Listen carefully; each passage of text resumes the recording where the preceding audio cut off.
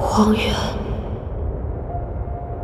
黎苏苏，季泽前辈，我没能杀死魔神，苏苏有负前辈重托，对不起。你不仅自觉有愧于我，亦自觉有愧于澹台烬，对吗？愧，我没想到，即使认定了我要毒杀，他还是愿意娶我。愿与我白首百年，前辈，无论神魔，其心若此，我心中怎能无愧？诗儿，诗儿，我告诉你，即便你们之间没有横着的这些人命，你与澹台烬依然会走到今日的境地。李素素，其实这一世。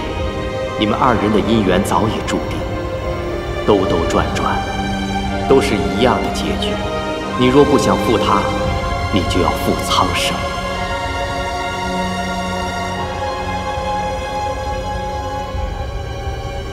当日在荒渊，吾曾言过：一场梦，一滴泪，一缕丝。你可悟了？泪是灭魂珠泪。丝是澹台烬的情思，梦可是般若浮生。既然已经猜到，为何还未醒悟？前辈何意？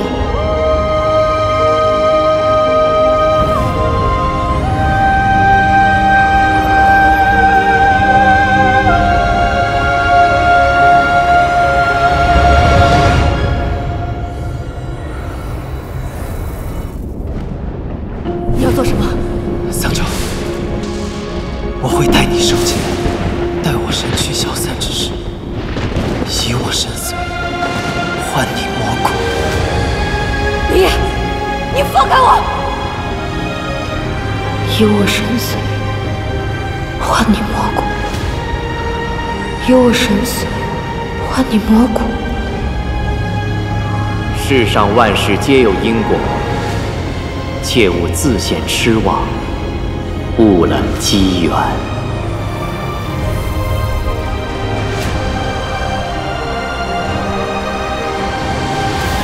以我神髓换你魔。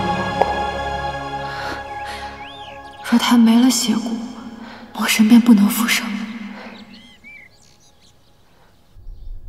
利用劫雷之力，明夜能用神髓换出魔骨，我也应该能以仙髓去换出血骨。